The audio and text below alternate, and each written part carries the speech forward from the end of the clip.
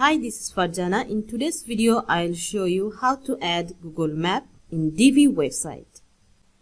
So this is the website which we are going to work. So this website is developed in Divi theme and I have created another complete tutorial about Divi theme and there if you go to my complete Divi tutorial you can see here I described all part step by step how I developed this website in Divi theme. So here is the home page and others pages I developed and I described all steps step by step in this tutorial. So you can check this out. I will also leave this tutorial link in description below. So let's get started.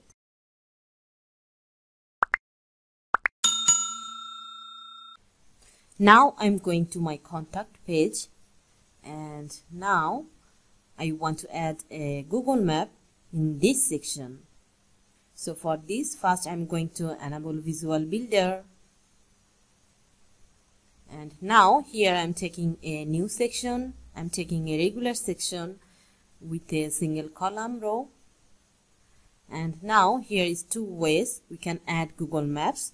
One is here is a map module which is uh, given by Divi theme in my opinion here is some complexity. Here we need to add Google Maps API key. And for this you need to add your credit card information and you will charge after some time. But here you will get so many options. You can add multiple locations and you can customize your map as you want. But here I prefer to do this in a another and simple way if you want to add only one location that case I prefer to add embed Google Map directly. So for this I'm going to Google Maps. Just typing Google Maps going here and now I'm typing a certain address or location. Just I'm typing a office address. This is CSL systems and now I want to add this location on my Google map. So for this just click on share embed a map and copy HTML now I'm going to my website. I'm deleting this maps module here. I'm taking this code module and just paste it. Here is width 600 pixel and height 450 pixel but here I want to make width 100%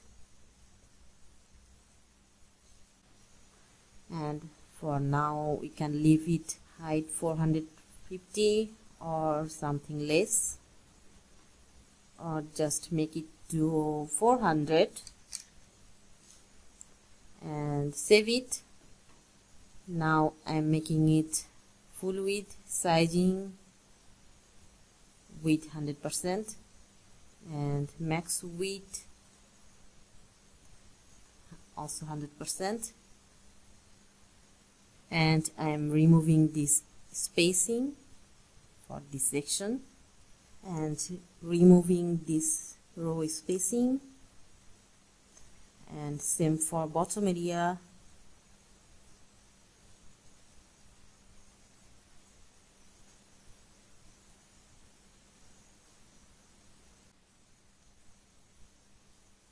so now this is our Google Maps. When we click these direction links we can see our full map on Google Maps. So if you have only one location to add this is the simple and quickest way to add Google Map in Divi website. Now I'm going to save it and exit Visual Builder now we can see our Google Map is added here and it's full width. Hope this tutorial will help you. If you need more professional help from me, then go to farjana-rashid.com and get started now. Here is the form below. Just fill this form with your details information and your project details and submit it. I will reply you in next 24 hours. I will also leave this page link in description below. Thanks for watching and welcome to my next tutorial.